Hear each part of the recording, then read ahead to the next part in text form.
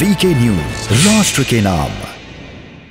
ये देश पाकिस्तान बन गया है और तुम लोगों को देश छोड़कर चले जाना चाहिए। ये शब्द पाकिस्तान में नहीं, बल्कि हिंदुस्तान में कहे गए हैं। जी हाँ।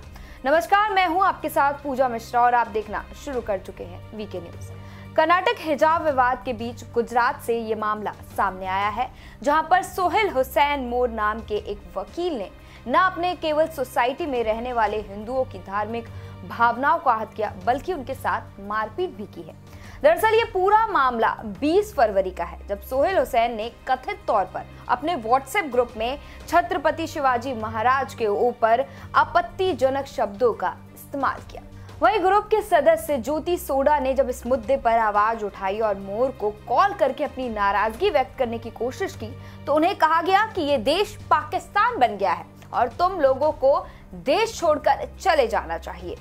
बता दें कि न्यूज़ 18 गुजराती द्वारा साझा की गई ऑडियो रिकॉर्डिंग में मोर ने महिला से गुस्से में कहा और ऐसे में पोस्ट आते ही रहेंगे। उसने कहा कि जिस तरह से उसने छत्रपति शिवाजी जी के लिए जो पोस्ट डाला है, वो ऐसे पोस्ट डालता रहेगा।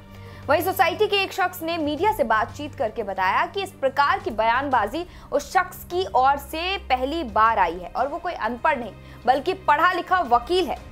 जसमदीतो ने बताया कि वो हमेशा हमारे साथ नॉर्मल रहता है, लेकिन कुछ टाइम से उसने अपनी कट्टरपंथी वाले शब्दों का प्रयोग करना शुरू कर दिया है और अपनी वेशभूषा तक बदल ली है। उसने भगवान की फ़ोटो और फ्रेम, यहाँ तक कि भगवान गणेश की प्रतिमा को तोड़ने का काम किया था। लोगों ने बताया कि भगवान गणेश की हर मूर्ति को उसने तोड़ने का काम किया और अब सोसाइटी के हिंदुओं को शक है कि हुसैन के ऐसे कट्टर विचारों के पीछे कोई बड़ा रैकेट हो सकता है। बता दें कि लोग बताते हैं कि जैसे ही किशन भरवाड़ के मामले में पाकिस्तान का नाम सामने आया, ये मामला भी वैसा हो सकता है। पूरी सोसाइटी को पाकिस्तान में बदल देगा और हिंदुओं को यहाँ से चले जाना चाहिए, ये सोहेल कह रहा है। उसने ये तक कहा, तुम तो मुझे कब तक रोक पाओगे? मुझे सपोर्ट करने वाली एक बड़ी फौज है। रिपोर्ट के मुताबिक, मोर ने अपनी व्हाट्सएप डीपी पर भी आई सपोर्ट हिजाब लगा रखा है। वहीं जब लोग मोर से बात करने गए तो उसने नाराज़ होकर उन्हें चाकू तक मारने की कोशिश दे की इसके बाद हंगामा मचाया गया और यहाँ तक कि बता दें कि जब हंगामा मचा तो उसने भगवान गणेश की एक मूर्ति पास में रखी थी, उसको तक तोड़ दिया।